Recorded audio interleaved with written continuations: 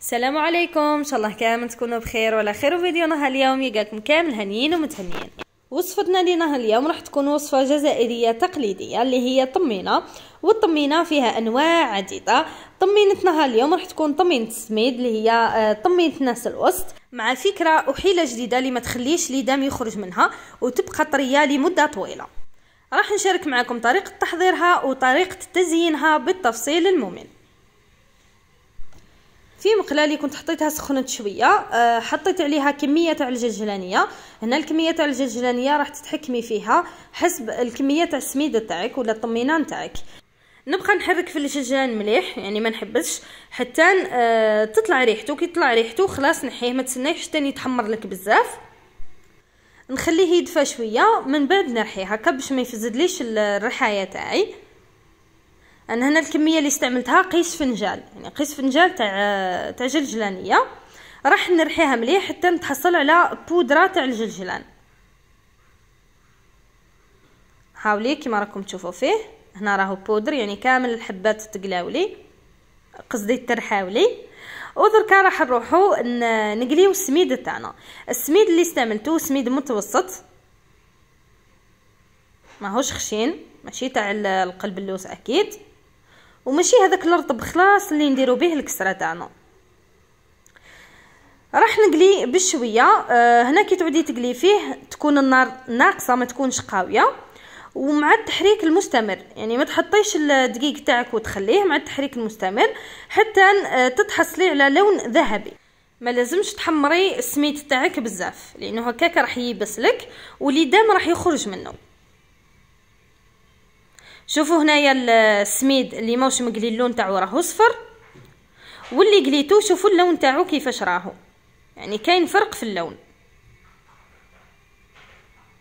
هاوليك يعني ما حمرتوش بزاف تحصلت على اللون ذهبي. هنا غير مع التصوير ما يبانلكش اللون تاعو مليح. وكما تشوفوا هنايا عندي الكمية تاع السميد اللي كنت قليتها. عندي الجلجلانيه اللي كنت قليتها ورحيتها. تحبي تضيفي معاها نوع من المكسرات باش يعطيك الذوق ضيفي لها. عندي كيلة تاع العسل عندي كاس متوسط تاع العسل ونفس الكيلة تاع العسل هي الزبدة. ومن هنا عندي مجموعة من المكسرات والحلوى والورد اللي باش نزين بهم الطمينة تاعي فيما بعد. نجيب اناء نحط عليه الزبدة تاعي. أنا هي الزبدة راح نذوبها في في الميكرووند. انتي إلا حبيتي تذوبيها في طاوة. ديريها في طاوة كبيرة فرت مرة باش تخدمي فيها على ضربة واحدة. بعد ما ذوبت الزبدة دركا راح نضيف عليها هذاك العسل. يعني العسل راح يطلق مع هذيك الزبدة اللي تكون سخونة. أكيد راح تذوبيها يعني راح تسخنيها. ما تسخنيهاش بزاف بزاف حتى تتحرق ونضيف عليها العسل مع درجة الحرارة تاع المارغرين راح يتحل وحده. يعني ما نحطوش على على النار باش ما يسخنش بزيادة ويتكرمل ونجيبو ال bras mixeur ونميكسيو هذاك العسل والزبدة مع بعضهم. وهذه هي الفكرة والتدبيرة اللي نديروها باش ما تخليناش ليدام يخرج من الطمينة نتاعنا. بعد ما مزجت كلش كيما راكم تشوفوا يولي خليط متجانس يعني ما ما تخرجش هذيك الزبدة على العسل. نضيفوا الجلجلان تاعنا ونبداو نضيفوا في السميد تاعنا بالتدريج. ونحركو كيما راكم تشوفوا هكا آه نحركو مليح. مدة ربع دقائق حتى لخمس دقائق حتى نلاحظ باللي آه سميد تشرب لي مليح هذيك الزبدة والعسل. ونشوفها إذا مازال محتاجة سميد ولا ها. قد ما حركنا مليح قد ما ليدام هذاك ماهوش راح يتحرك خلاص وماهوش راح يخرج لك. آه في الصحن كي تسربيها ما تجيكش هكا هذيك الطبقة الفوقانية تاع ليدام وهنا وصلنا للمرحلة الأخيرة تاع التزيين. آه أنا حبيت نقسمها على زوج صحونة. بدلت صحن درت صحونة واحدة آخرين. قسمتهم على اثنين. راح نزينوا آه الصحن الأول. أكيد راح يبقى آه تزيين حسب الذوق تاعكم وحسب الرغبة تاعكم وحسب المتوفر عندكم لكن حبيت نعطيكم بعض النماذج. كاين بزاف اللي يشوفوا صور للتزيين. كي يبغيو يطبقوا هذاك التزيين أه تروح لهم هكا ما يعرفوش يطبقوها. مرات تكون فكرة بسيطة بصح ما نعرفوش نطبقوها من الصورة. لازم فيديو. كيما شفتوا كنت حطيت في في النص وردة وجبت اللوز effilé. دورت على الوردة هذيك أه اللوز effilé ساير داير يعني درت به أه حلقة الأولى. وراها زدت درت حلقة ثانية. هكا حطيتهم ورا بعضاهم. درت ثلاثة تاع الطرق كما نقولوا بالعامية. يعني الحلقة الأولى الثانية والثالثة. تحصلت على هذا الوردة كما راكم تلاحظوا. وعندي هنايا ال pistache. ال pistache كنت قسمت الحبة على اثنين. إذا كانت الحبة تاعك صغيرة رقيقة قسميها غير على اثنين. وإذا كانت الحبة كبيرة كيما نتاعي قسمت الحبة تاع ال pistache على أربعة. وحطيتها بهذه الطريقة كما راكم تشوفوا.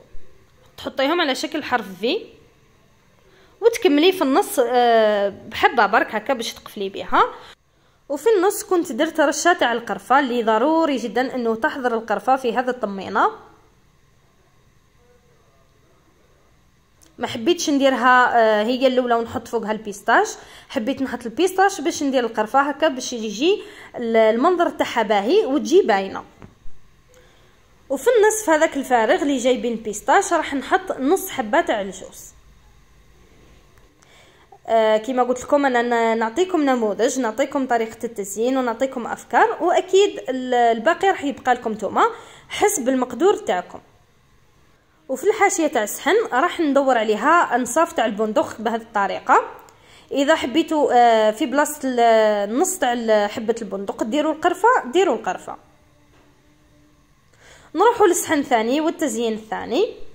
راح نزين باللوز. اللي حبت تزين بالكاوكاو راح تزين الكاوكاو. في بلاصة حبات اللوز راح دير حبيبات تاع كاوكاو. في بلاصة آه، الرقائق تاع اللوز راح دير رقائق تاع الكاوكاو. كيما شفتوا حطيت هذيك ال perle في النص وبديت ندور عليها الحبيبات تاع اللوز. هنا تحبوا ديروا اللوز بالقشور ولا ديروا اللوز بلا قشور يعني حسب الذوق. نفس الشيء بالنسبة اللي بغاو يديروا الكاوكاو بالقشور ولا بلا قشور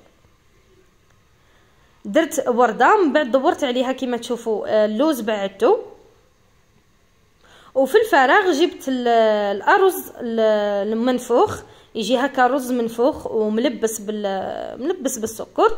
حطيته بهذه الطريقة. وفي النهاية راح نجيب الرقائق تاع اللوز نحطهم بهذا بهذا الشكل بهذه الطريقة. وفي النص راح نجيب الورد. نجيب حبيبات تاع الورد يكونوا صغار شوية. ونحطهم بهذه الطريقة. كملتها ساير داير كيما شفتوا وهنا كنت حبيت آه، سيد زعما ندير وردة بالقرفة ونحط في وسطها هذوك لي باغل دوغي. بصح ما قنعتنيش ما عجبتنيش خلاص. يعني لا علاقة. هي الوردة على الأقل تكون فيها خمسة تاع تاع هذوك لي بول. المهم آه، نحيتها في بلاصتها كنت حطيت حبيبات تاع حبيبات تاع نوات كاجو كيما راكم تشوفوا.